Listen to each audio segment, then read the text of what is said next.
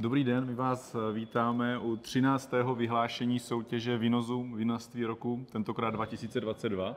No já jsem rád, že poprvé to oznámování dělám bez roušky.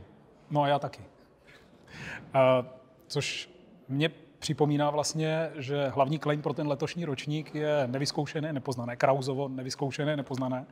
A ono to vlastně na to docela sedí, že? To určitě, já jsem si říkal, že bychom to mohli, když jsme bez roušek, tak že bychom s tím vínem to mohli oznámit.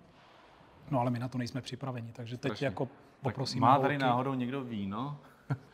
A to je náhoda. Díky, Dášo. Tak na zdraví. Na, Na zdraví. A, a jdeme na to. Takže já vyhlásím kategorii malá vinařství a tam se do finále dostali vinařství plenér, vinařství škrobák a víno kadrnka. No a já začnu z opačné strany a to jsou kategorie, nebo to je kategorie velká vinařství a tam je to Šato Valtice, vinné sklepy Valtice, Anovíno vinařství Lednice a Bohemia Sekt SRO. No a u té střední kategorie to uděláme tak, že já řeknu táju a ty řekneš ten zbytek. No a nebo ještě jinak řekni Táju a Krásnou horu, protože to je tady Moravský a já řeknu ty vinné sklepy Kutná hora, protože to jsou Dobře. střední Čechy. Jo? Takže ve střední kategorii do finále postupují tája vinařství a krásná hora. No a vinné sklepy Kutná hora za středočeský kraj. Takže všem gratulujeme a uvidíme se ve finále. A to bude kdy?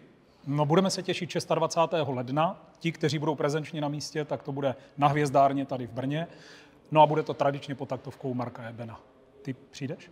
Já doufám, že budu moc, budu se těšit. Zkus to. Tak jo, Na zdraví. na zdraví.